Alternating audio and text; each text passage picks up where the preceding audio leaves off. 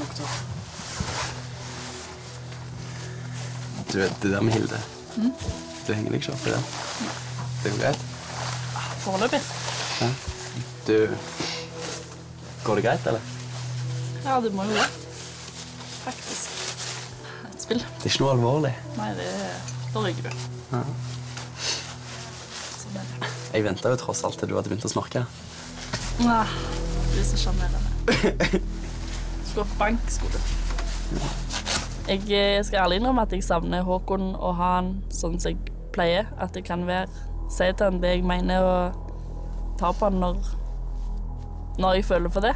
Men det går greit. Jeg føler ikke noe Jeg føler ikke noe på det at Hilde og Håkon står så close. Du er en god skuespiller, da. I like måte. Håper jeg. Ja, ja. Det, det er bare skuespill. Jeg velger å stole på Håkon, og hvis han lyver til meg, så ryker han på det. Ja.